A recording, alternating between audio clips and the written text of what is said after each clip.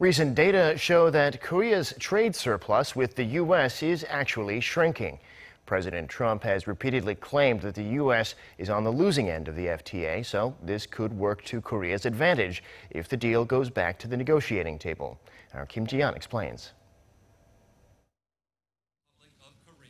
During the bilateral summit between Korea and the United States, President Donald Trump signaled a renegotiation of the free trade agreement between the two countries, citing an imbalance in trade.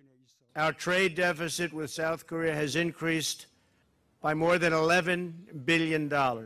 Not exactly a great deal.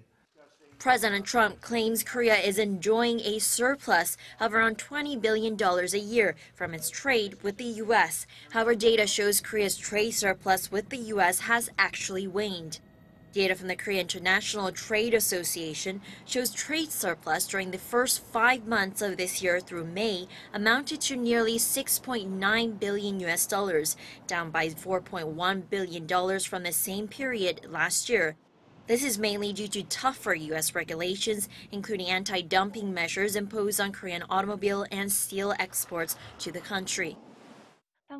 Korea needs to actively take part in the renegotiation process if it comes to that, in emphasizing that the U.S. is not on the losing end of the deal. Korea's annual surplus from its trade with the U.S. amounted to $23.2 billion last year. Kim Ji-yeon, Arirang News.